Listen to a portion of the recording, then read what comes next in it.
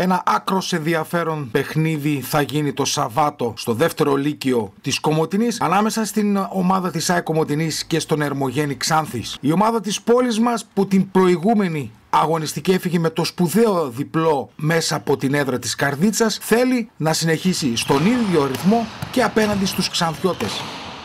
Βεβαίως το ενδιαφέρον επικεντρώνεται και στους ε, παίκτες της Ξάνθης μιας και αρκετοί από αυτούς τις περασμένες αγωνιστικές είχαν αγωνιστεί με τα χρώματα της ΑΕΚ. Όπως και την προηγούμενη αγωνιστική, έτσι και το Σαββάτο, όλοι στην ΑΕΚ πιστεύουν ότι ο 7ος παίκτης του συλλόγου θα είναι ο κόσμος που έτσι κι αλλιώς αγαπάει την προσπάθεια της ΑΕΚ Κομωτινής στο τμήμα του βόλεϊ. Βρεθήκαμε στην προπόνηση του συλλόγου και μιλήσαμε με τον προτεργάτη αυτής της προσπάθειας και φέτος με τον Ηλία τον Κρεούζη.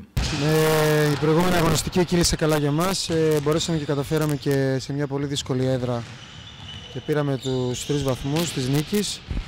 Ε, τώρα κοιτάμε το επόμενο παιχνίδι το οποίο είναι με την Ξάνθη η οποία Ξάνθη προέρχεται από ε, τρεις πολύ καλές αγωνιστικές. Μόνο με τη Βέρεια στραβοπάτησε ε, και ήταν φυσιολογικό. Περιμένουμε ένα πολύ μεγάλο παιχνίδι. Περιμένουμε ένα παιχνίδι με πάθος με πολύ καλά στοιχεία γιατί και οι δύο ομάδες μπορούν να παίξουν καλό βόλεϊ. Και ευελπιστώ ότι ε, ο κόσμος θα ευχαριστηθεί ε, σίγουρα ένα πολύ καλό παιχνίδι. Ε, καταφέραμε στην καρδίτσα, ήμασταν συγκεντρωμένοι και μπορέσαμε και κλείσαμε τα σετ ε, όλα υπέρ εμάς. Ε, είναι διαφορετικά, κάθε παιχνίδι είναι διαφορετικό. Δεν μπορείς να, να το συγκρίνεις. Οπότε κοιτάμε παιχνίδι ξεχωριστά. Και το παιχνίδι με την καρδίτσα μπορέσαμε και κλείσαμε όλα τα σετ όταν έπρεπε και όπως έπρεπε, γι' αυτό και πήγε 3-0. Ωραία. Παίζουμε με μια γειτονική ομάδα. Ο κόσμος πρέπει να είναι ο έβδομος παίκτης για να δώσει την όθηση για να πάρουμε την νίκη.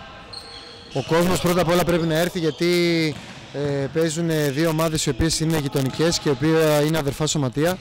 Ε, παίζει η Κομωτινή με την Ξάνθη ε, και θέλω να έρθει ο κόσμος για να τιμήσει την προσπάθεια και της Ξάνθης και της Κομωτινής πρώτα απ' όλα. Γιατί μην ξεχνάμε ότι είναι πολύ δύσκολες οι εποχές.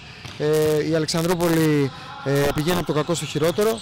Οπότε και εμείς πρέπει να δείξουμε τη δυναμική μας, να μπορέσουμε να βοηθήσουμε το τοπικό βόλεϊ, που θεωρώ και ότι ο εθνικός είναι ε, τοπικό βόλεϊ και πρέπει όλοι να δείξουμε ότι εκτός από ότι υπάρχει ε, καθοδική πορεία, υπάρχει και αναδική πορεία. Και η Ξάνθη και η Κομωτινή έχουν αναδικές πορείες.